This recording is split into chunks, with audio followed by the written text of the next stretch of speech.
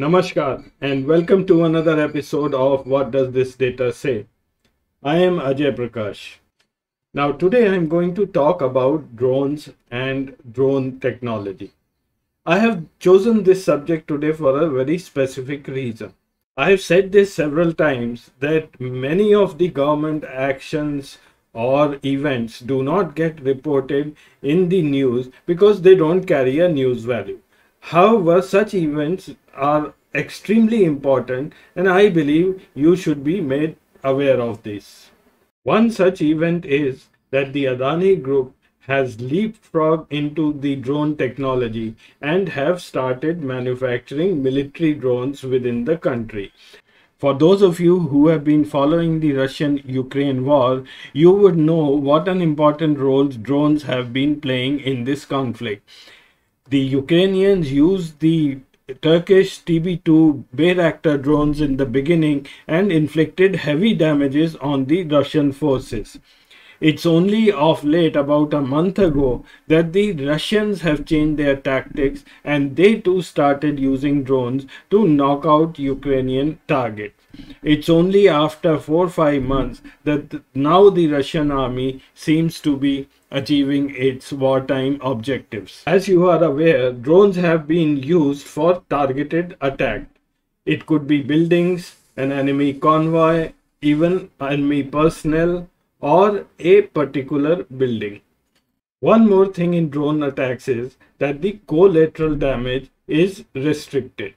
Now, just how lethal these drones have become, I will give you two examples. About a month ago, the Russians took out a key army commander of the Ukrainian army. They managed to hack the commander's satellite phone and then through AI, they they made a virtual phone call which looked as if his mother is calling him. The commander picked up a phone and immediately the Russians were able to get his location, his coordinate. And then they quickly sent in a drone and took him out. The second instance is more recent. A few days ago, Ayman al Zawahiri, the Al Qaeda chief, was taken out by the US in a drone attack in Kabul.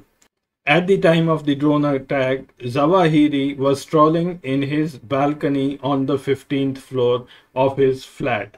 The US used a very specific drone for this purpose, which would have cut Zawahiri apart. This ensured that there was no major collateral damage.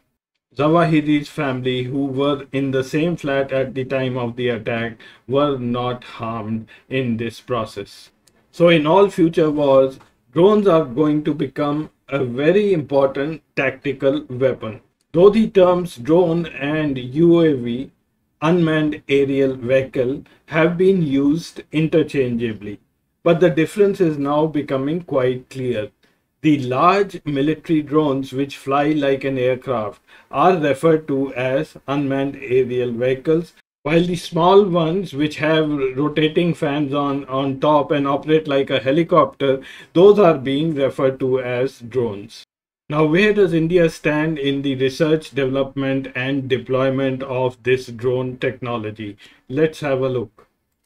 Firstly, very quickly, I'll give you an overview of the commercial segment in the drone technology. The global drone market in the commercial segment is estimated to be about $28.5 billion. Now, India's share in this market currently is around 4.25%, which is around about 1.2 to 1.3 billion dollars. However, this market is going to grow at a very rapid rate. We are a country in which the largest number of startups have cropped up in the last three, four years who are working on drone technologies. And every year, more and more are getting added. However, all of them are today working on commercial applications and not on military applications. There is a huge commercial potential for drones. We have seen drones making deliveries, they spray pesticides in agricultural fields, mapping, and reconnaissance. Last year, Telangana government came up with a very unique application. The project was called Medicine from the Sky and drones were used to deliver the COVID-19 vaccines to remote villages. This pilot was so successful that now the government is going to use drones regularly for delivery of medicines to the primary health centers in remote areas. Since India did not have its own drone technology and neither there was anyone within the country developing it, so we did the next best thing. We looked at technologies to import. In 2016, with an eye on China and Pakistan, India entered into a dialogue with the United States for acquiring 30 to 40 Predator surveillance drones. The deal at that time was estimated to be around $3 billion. Now, apart from this requirement, there was a requirement of another 100 Predator drones from the Army and the Navy, which also was to be procured. The talks with the United States for acquiring these drones started in 2016 and today 8 years down the line these drones have still not been procured. Then all of a sudden on February 23rd this year, there was a media report which said that India scraps the $3 billion deal to acquire Predator drones from the US will focus on indigenous UAVs. The reason given for scrapping the deal was that the costs were extortionate. And the other reason given in the media report was that India wishes to now develop its own drone technology. In April this year, India Today came up with this press report. It said that in view of the indigenous capability development, a high level committee has been formed to decide on the number of drones that the three forces would want to buy now, as long as the requirements would be met by the Desi drones being developed, according to top government sources. This is where there is a twist in the tale. When did this indigenous technology suddenly come up? And what are these Desi drones which they are talking about? So let's try to get some answers. For this, I'm going to show you one timeline. In 2015, Adani Defense Systems was established. In 2016, India enters into a dialogue with the United States for procuring 30 to 40 Predator drones. Then in 2018, another company, Adani Defense and Aerospace, and an Israeli company, Elbit Systems, inaugurate the first private UAV manufacturing unit in Hyderabad. Now, if you observe, the a, a company has entered into an agreement for uh, military drones. It has started manufacturing, but the country doesn't have drone rules. These only come up in August of 2021 and thereafter in 2022 things start moving very rapidly. The certification scheme for unmanned aircraft systems was notified by the government on 26 January this year. Then on 23rd February comes the news that India is scrapping the $3 billion deal with the United States. And then in May this year, again Adani Enterprises signs an agreement with a small startup of Bangalore, General Aeronautics Private Limited, and enters into the commercial drone space. The statement of Gautam Adani during the inauguration of the manufacturing unit is worth reading. In that statement, Gautam Adani said that he was very happy that the Adani Group is doing its bit to build a more self-reliant India. This joint venture facility for manufacturing of UAVs is a testament of Elbit's commitment to our nation and the Make in India program. So the Adani Group is now a partner of Elbit Systems of Israel and it's manufacturing the Hermes series of drones within the country. You can visit Adani Defense and Aerospace uh, website where you will find the pictures of all the drones which are being manufactured. These are essentially the Hermes drones of Israel. So this is the indigenous technology and the so-called Desi drones. So was this a beneficial relationship to India? Was it a good buy? Let's compare a few different types of drones and see for ourselves. In this table, I am showing the comparison between three different drones. The first one is the Predator drone from General Atomics US, the one which was being negotiated for procurement by India.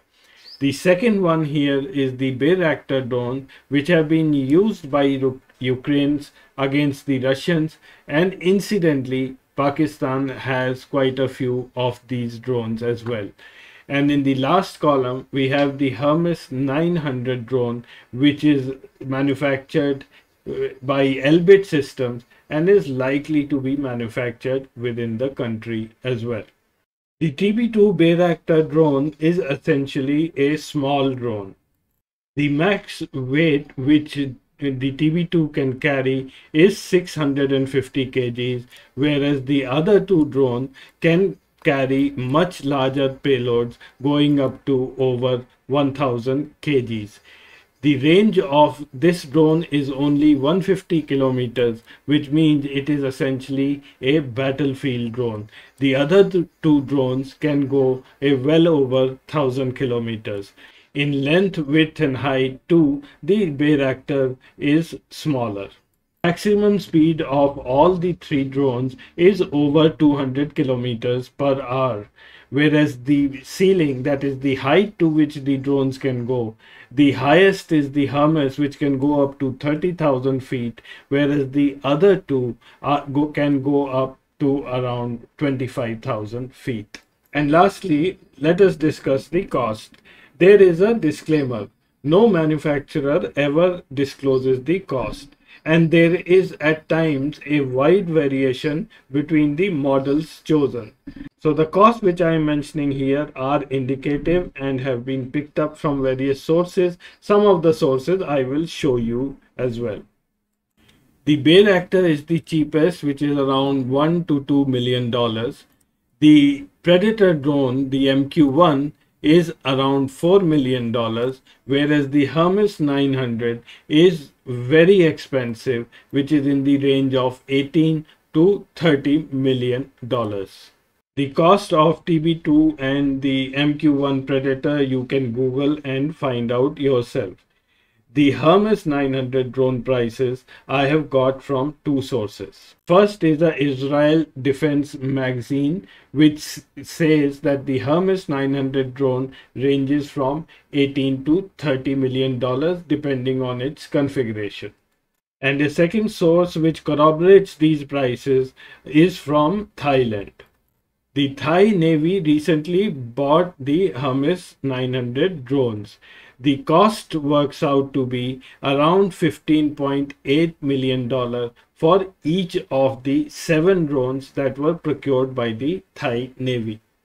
The exact configuration of Hermes drones being manufactured within India remains unknown, but we had rejected the US drone saying that it was very expensive, which is around $4 million. The Hermes drone, as turns out from the media report, is not going to be cheap either. It is maybe costing us upward of $10 million each, but then there is a strong possibility that because of indigenization, the cost will definitely come down. And lastly, let's see what DRDO is, is doing in the area of drone technology and can the Indian Defense Forces procure drones from DRDO. The first drone that DRDO is manufacturing is Lakshya, which is a target drone, which means that it carries a towed target and the missile is, is then fired to check the accuracy of the missile. The second drone is Nishant, which is an unmanned aerial vehicle which is launched from a truck and used for battlefield surveillance and reconnaissance. The third one, which is a bigger drone, Rustom 1, which is a true UAV, is under development. But that too, right now, is being developed for surveillance, reconnaissance, target acquisition and tracking, and image exploitation. So currently, none of these drones have weapons fitted to them. So it's only the Adani Group which will remain a key supplier of military drones to our country that is till someone else gets into this exciting field of military drones. Thank you for watching. I'll see you again next week with some other interesting data. Till then, namaskar and goodbye.